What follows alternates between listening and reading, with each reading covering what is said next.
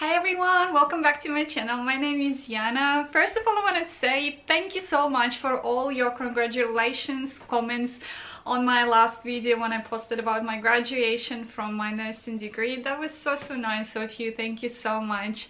Um, you guys are so supportive and I really, really like it. In today's video, I want to go back again to the nursing topic. So I want to share with you my experience of doing one month in ED which is emergency so what happened is for those of you who haven't seen my last videos I had my internship uh, so I've been doing my Bachelor of Nursing Science. This was my last year. I literally finished like a week ago and in the end of my last semester, in the end of my like complete degree, I had internship. Internship was in my uni for eight months. Sorry, it was for eight weeks and my first month was in an emergency okay? It was a public hospital emergency and I wanted to share with you what I've been doing there as RN student and how did it go for us in terms of like the last last placement what was the load patient load and things like that. Uh, so my emergency department had four actually five sections. So we had triage then so we had a waiting room for all the patients to come in and wait. As many of you probably have seen in emergencies when you go there like by yourself as a patient then when you go in so you have your triage you have your resuscitation area then you will have your acute areas inside. So as students as RN students we were not practicing in triage or resuscitation unit. We were only practicing in acute areas. So in a hospital where I was they had two acute areas. They were divided by color. It was a green color and red color. This is where most of your patients would go with conditions like chest pain hyperglycemia uh, after falls if it's someone elderly closed fractures if they have any then you will have conditions like uh, pain, viral symptoms. Um, you might have bleeding in the urine as well mental conditions also overdosing and also attempts of suicide as as sad as it sounds but you will have patients like this as well. So these patients will go into these two acute areas. And then the third area of sort of like these three areas because they're beside each other will be your short stay area. So this is basically when patients who've been in these first two acute areas and most of the assessments and tests been done there and they sort of not sort of but they are more or less stable they can be transferred into short stay area and wait for the final results. This could be results from x-ray or any other imaging or scanning. This could be the last uh, blood test uh, for troponin levels, for example, if the ECG was performed before or UI um, results and things like that. So they stay there. They're still being monitored by RNs, you know, and still the OBS will be taken, uh, meals can be offered to them there, you know, and all of that. And the nurses will be checking constantly for the results to come back to see them and also doctors then will come and talk to the patient. So this is like um, in a nutshell quickly a quick explanation. So in ed there are no ens well in the hospital that i was practicing in there are no ens okay? Only rns and then you will have wardies and you will have aans who would come and do like a light duties okay? You won't be given showers to the patients in ED. Very rarely you would be changing pads. It can happen mostly like or the continent aids with elderly people, okay, who might be incontinent, you know, and depending what condition they will present it with. But generally your cares would be mainly concentrating on assessing, doing different type of assessments and just assisting if you need to take person to the toilet and things like that.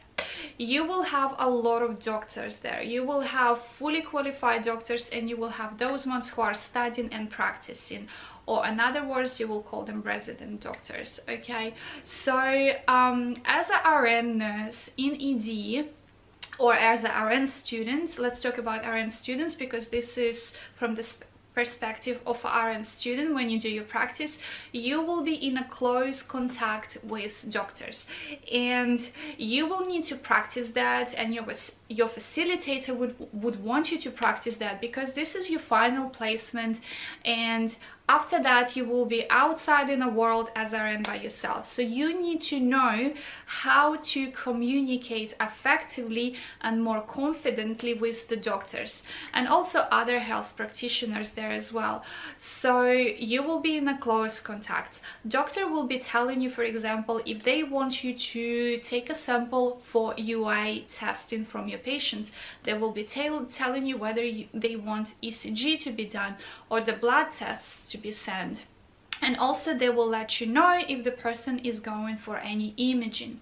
So what will happen when the person will be arrived to ed you will have a handover from the person from another nurse who are assisting transfer of that patient so either they will be coming from triaging or maybe from resuscitation if they were very acute there but then stabilized and they will be moved to these acute areas in um, uh, acute department in ED. So you will have a handover about that patient.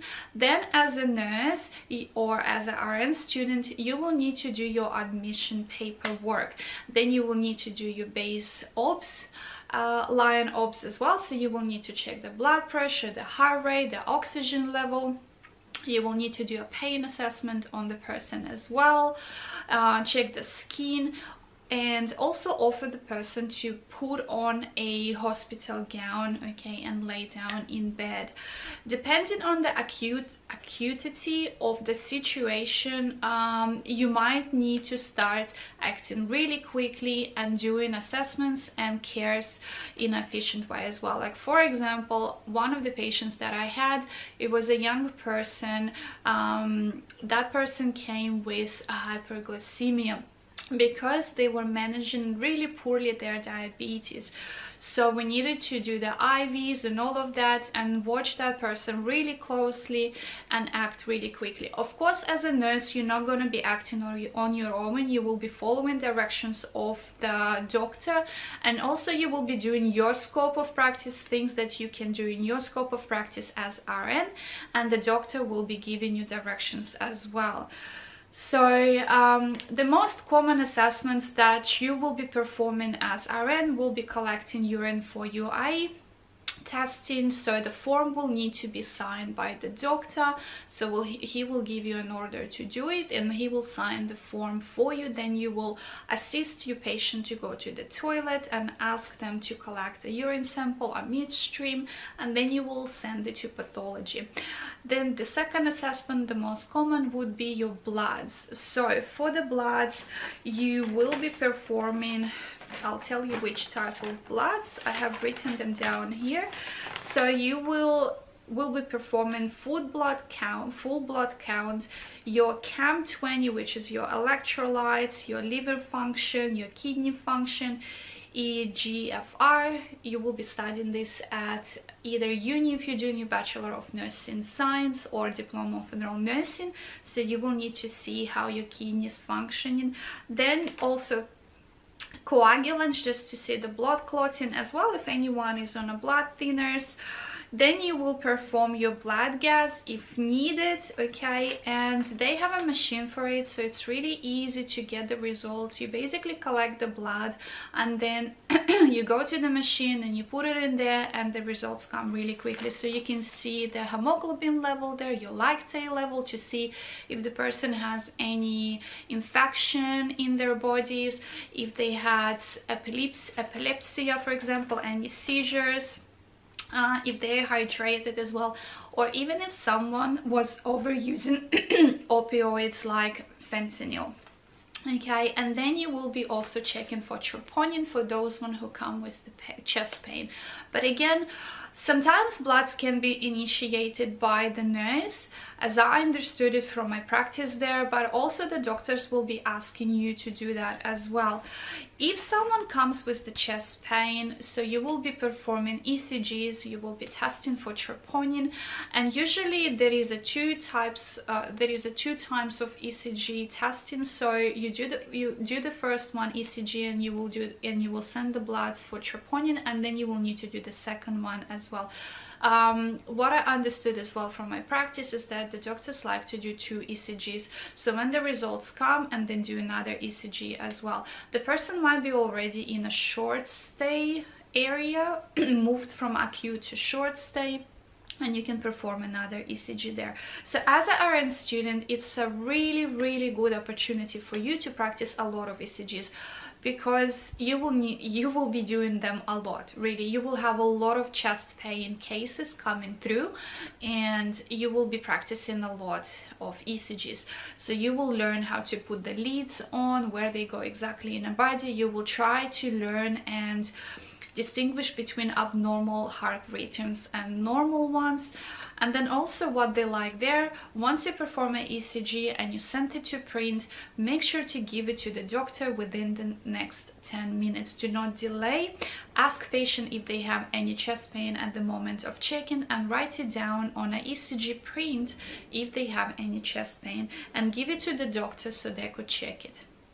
Okay so that's for that also when you do any bloods and it comes back in a computer so they use a specific system there on a computer and you can actually trace as a nurse um, the blood results of your patient. Also, you can chase there on a computer any notes been done by the doctors, by pharmacists, by physios as well. You can see what's going on, whether the patient is for discharge, for example, you know, especially the doctors will put notes when they receive the blood tests and imaging tests and all of that, all of those results, and then they will put their notes. So you as a nurse, you need to be constantly always checking to know what's happening with your patient.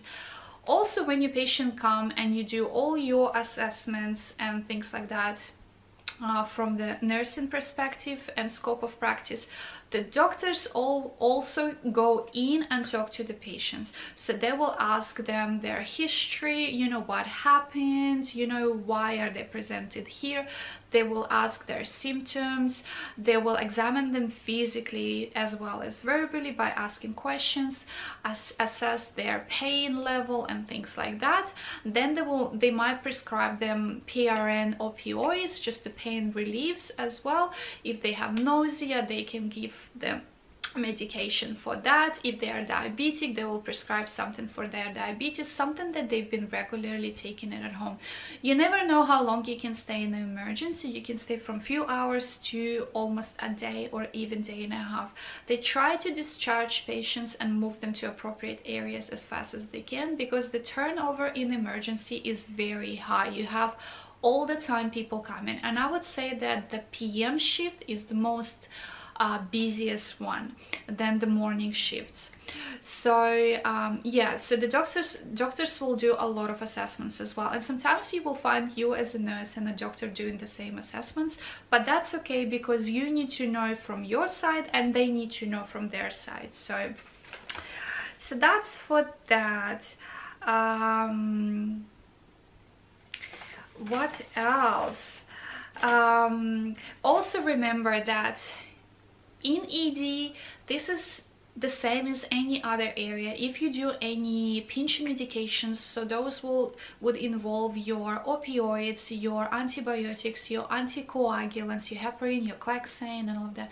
Even furosemide and all of that all these medications antipsychotic you will need to check it with the second nurse okay? So this will be applicable anywhere you go. You will need your second nurse to be um, checking it um, in a drug room if you're preparing it there and taking it out from the cupboard and also near to the bedside table. Okay so just remember that all the time. You as a student will do uh, quite few subcut anticoagulant injections so that would be your clexane heparin and stuff like that. Um, also when you do the blood test when the results come something that i forgot to mention uh, for hemoglobin, for example, for lactate, you know, and any like potassium, your calcium, on all other electrolytes, you will actually will have the normal ranges stated in brackets. So you will have the result for, for example, for hemoglobin coming for that particular patient, and then in brackets, you will have the normal ranges. So you don't have to really remember them by heart because uh, if you're a new RN, for example, it's hard for you to remember them right away. But if you've been practicing in ED for years, you will all you will you will already know your normal ranges. But also the system highlights the numbers, the results for particular, let's say, electrolyte in an orange or red color if it's higher than the normal range, or it shows an error up. If it's below the normal range, let's say if someone is low in potassium, which is not really good for your heart, then it will be either blue or green color and the arrow will be showing down. But also you will have in brackets your numbers so you could know what are the normal numbers because with more practice it will stay in your head. What else? So your patients will be sent to uh, scans. So this could include your x-rays which is the simplest ones and then um, mris and also ct scans. You might have as i mentioned before patients coming with closed fractures and you might not know that they have a fracture because let's say if it's a little old Doris, she came after a fall because she lives alone and nobody watching her and she was cooking a breakfast and fell down, you know, face the floor. You don't know whether she has any fractures, you know, so they will come to the emergency and then from us sent to imaging, which sorry i thought that my camera turned off and then sent to imaging uh, which is in the same hospital where I was practicing. So we had imaging and all type of scans in the same hospital, just a different level, and then come back to us as well. Um, you as a nurse sometimes will be um, assisting the transfer. You can actually go uh, and escort the patient together with the wardie and sometimes you will stay on the floor and the wardie will do it themselves. Um, so the ratio in ED is, as far as I remember, I think it's two nurses per eight patients or per seven, something like that. Yeah, or even three. I think it's two per six, something like that. I wouldn't remember now exactly. You as a RN student, you will be encouraged to take from two to three patients on your own. Of course, you will be still assisted by the nurse. You will be still assisted and provided help in education and, you know, answering all your questions and guidance and all of that. But try to take initiative, you know, communicate to the doctors, you know, when you're doing UIs or bloods, make sure that all the forms are signed by the doctors because you have to send it to pathology having the form as well as the sample. So um, also when the doctor will be communicating to you about assessments that they do with the patients, you know, and what's the next step and things like that. Or they want you, for example, uh, ask you questions, you know, how the last set of OBS was, you know, did they have any pain, how is the pain going now, you know, did PRN medication help and things like that. So try as RN to communicate with doctors as much as you can. I'll tell you that the doctors there, most of the doctors there, especially residents, they're young in age, they're super friendly, super open-minded, and they all work there as a team. There is nothing there feels like doctors are somewhere up there and you as a nurse down there. They all work at the same level as a beautiful team, very respectful to each other, and don't be afraid to maybe not know something as a student or ask a stupid feeling stupid question because there are no stupid questions at all okay nobody gonna judge you there really because as i said they are super friendly like super friendly i even was talking to some of the doctors they're asking about uh, medical school that they study, you know, how hard it is, how long it is, what they do, how they choose the profession, which area they want to practice in after that. Like I was asking them and just having chats and I mean like they're so nice cool people.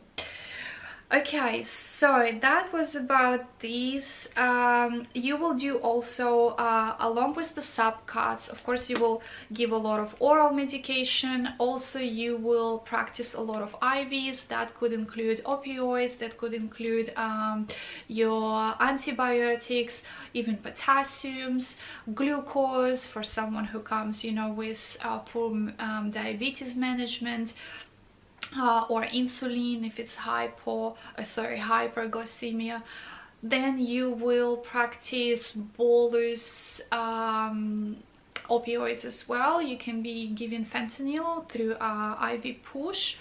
Um, so you will learn how to mix all of that in a drug room Remember to use the yellow injectable drug book for mixing your medication because this will help you. Do not just rely on the nurse, on your buddy nurse, also double check. Unless you are like in very acute, acute situation and you have to do really something really quickly, you know, then there is exception, just you can rely on your nurse. But you as a student, always try to stay safe and use appropriate materials to just make sure that you're doing the right thing uh, what else? Um, so you will need to provide comfort to the patients while they're waiting for their um, results of the tests as well whether it's the imaging bloods or UIs or review of the doctor whatever. If they have any questions you know you can educate them. If they need assistance assistance going to toilet you can provide there. Remember there are no ENs on the floor only RNs okay? So you will be the one providing assistance to your patients. Um, some of them will be on hourly obs, some will be half an hourly depending if they have um, bloods running for example or potassium you know or opioids or whatever. So you need to be looking at checking the respiratory rates and respiratory status of the patient and things like that doing pain, pain assessment frequently. Then you will need still to check your BGLs as well. They do have meals there in ED also they have fridge where for patients where you can access um, sandwiches custard yogurt juices. You can make tea and coffee for them as well. So all of that is provided. Um, what else? Cannulation. So most of the RNs there in ED would know how to cannulate. And this is very simple course that you even as a grad RN student can do it or not a grad RN student you would be grad RN because you would be finished already with your bachelor. And if you are in a grad program for example during that year you can do this course so you could cannulate the patients because you will need to do a lot of cannulation for the purpose of doing blood testing okay? Sometimes they would come from resus or triage already having a cannula or they might have a cannula if they, if they've been um, transported to the hospital by the emergency by the ambulance I mean. So if they came by the ambulance sometimes paramedics in ambulance can actually cannulate them and then your handover will be given to you by the paramedics. Actually remember it remembering it now you will have a lot of patients being given to you by the paramedics. So you will receive a handover from the paramedic and it will be a lot of paramedic students practicing to give a handover to you as an RN student as well, which was really cool. I found it really cool because um, they practiced to give and I was practicing to receive and we were both students, you know, so that's, that's really awesome um, yeah so it will be a lot of cannulating. You as our RN student cannot do a cannulation because as I said it has to be a course. As a, as a student you're not going to be doing this course. It's not part of your bachelor or diploma.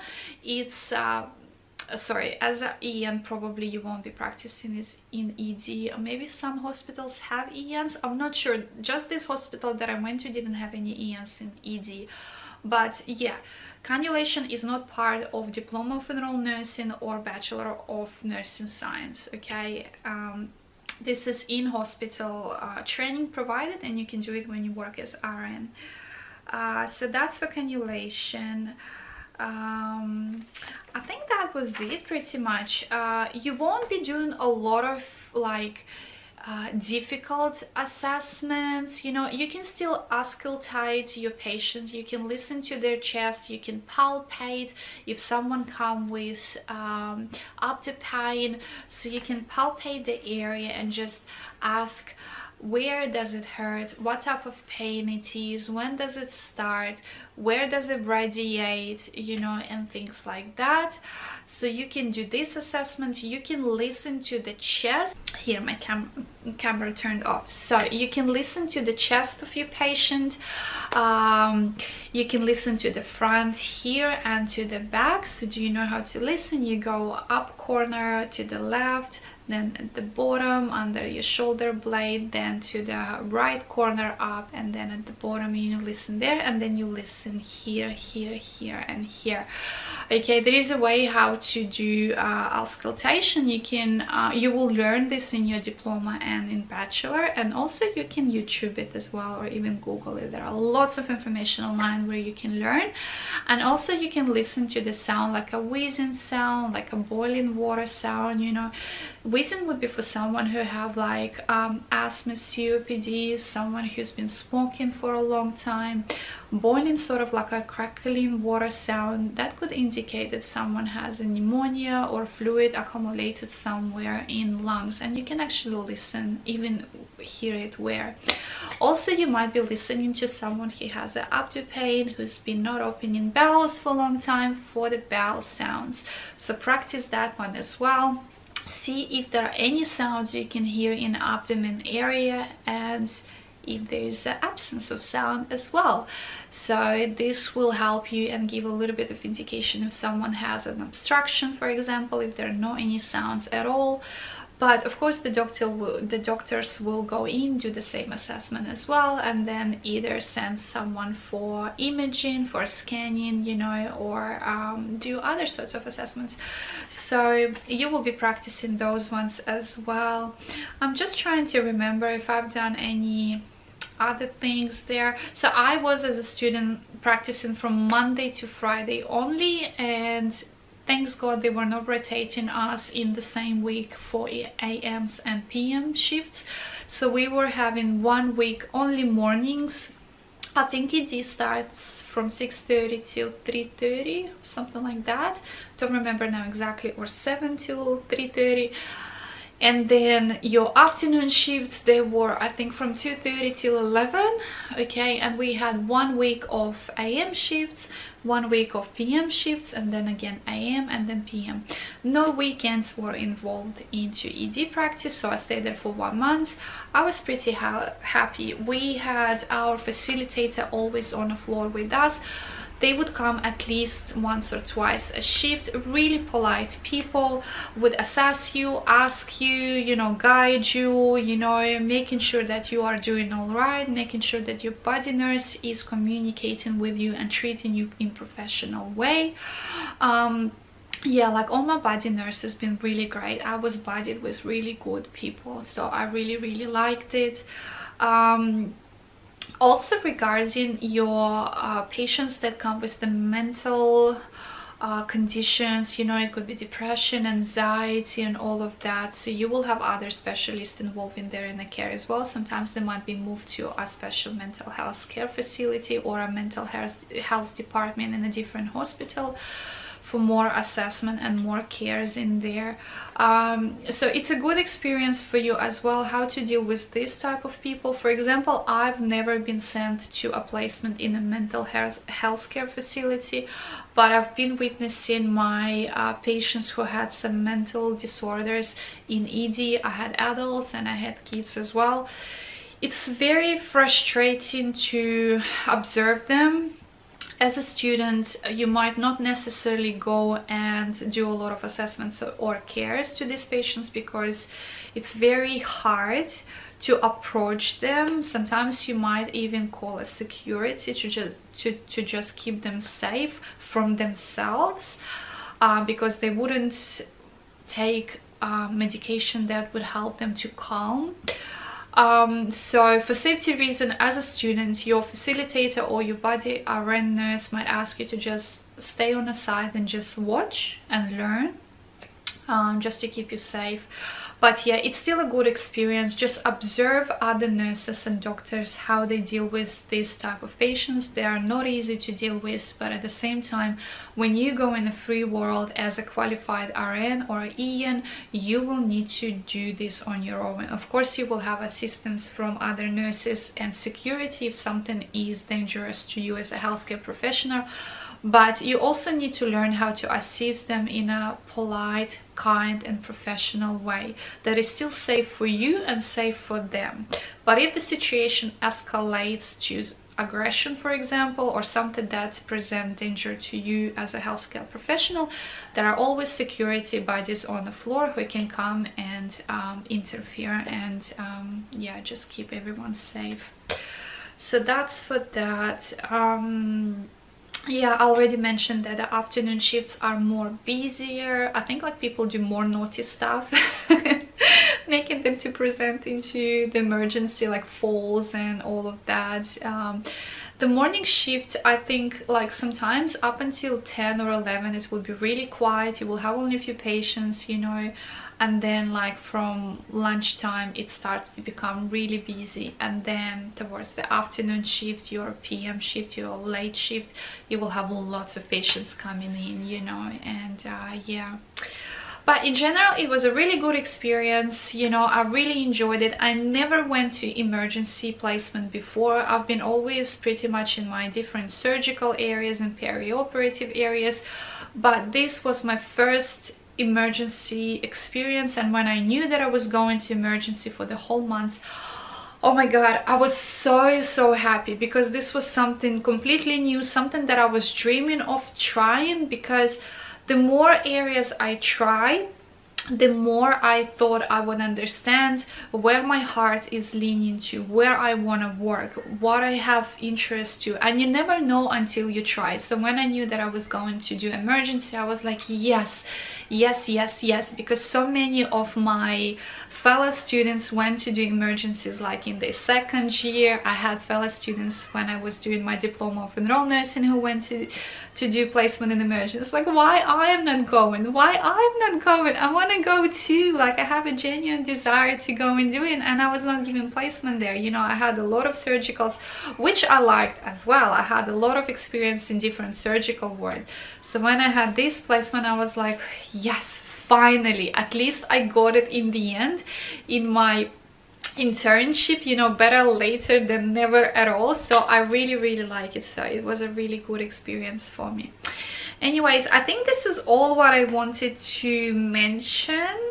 Um yeah i think this is all. Oh, oh also just remember that um, even in emergency, you will still have elderly people who might have difficulty swallowing, you know, or eating. So just if you see that you're giving to someone, let's say someone is really elderly and you're giving them oral tablets, you know, if they don't have dementia, ask them, how do you take your tablets at home? Do you need them to be broken down? You know, um, do you have your tablets let's say taken with custard you know?